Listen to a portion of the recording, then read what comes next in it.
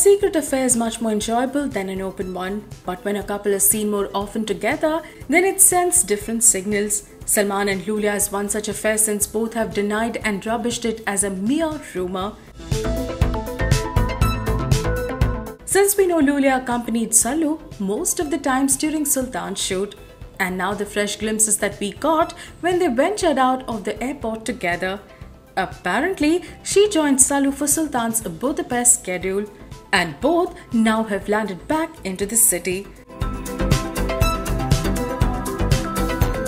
Sallu looks every bit dapper as always, wearing a smart tee with ripped jeans, whereas Lulia looked ravishing in the shades of white and grey outfit. Must say, she looks toned and fit. One year Sallu is closest to Lulia and she gives him required feedbacks while on shoot. One can't forget they both have sung their own version of the song from Sultan. Now we have to see if she even does a cameo in his upcoming movies. What do you guys think?